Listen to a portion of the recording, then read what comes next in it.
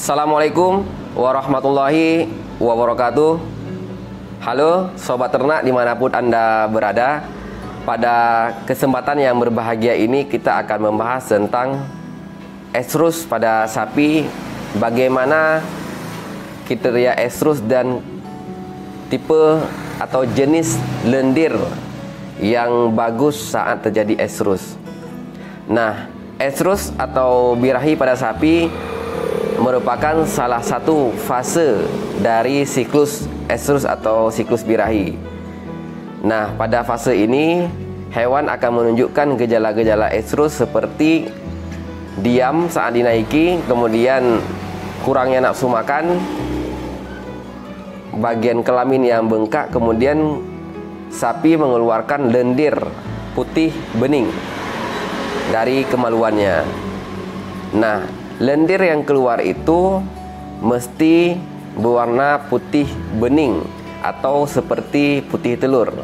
Nah, ini lendir atau cairan yang keluar dengan bentuk yang normal. Apabila lendir atau cairan yang keluar ini tidak putih bening, ini merupakan suatu tanda kelainan atau gangguan pada reproduksi ataupun hewan berada pada siklus yang tidak atau hewan berada pada fase yang bukan estrus atau birahi. Contoh, lendir yang keluar dari organ reproduksi tersebut misalkan berwarna bercampur dengan darah.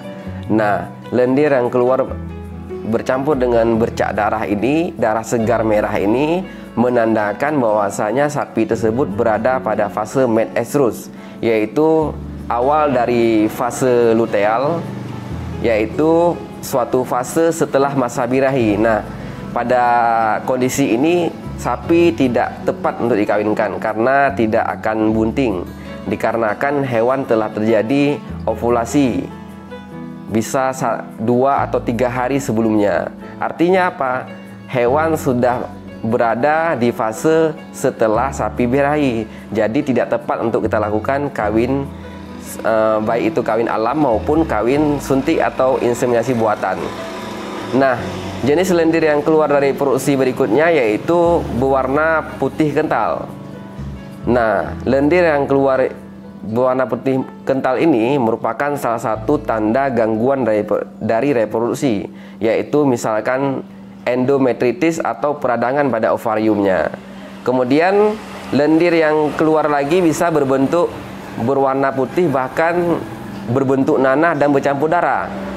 Nah, lendir yang keluar bercampur darah dan berbentuk nanah ini merupakan salah satu tanda atau gejala dari piometra, yaitu penanahan pada uterus atau peradangan pada uterus lanjutan dari kasus endometritis menjadi piometra.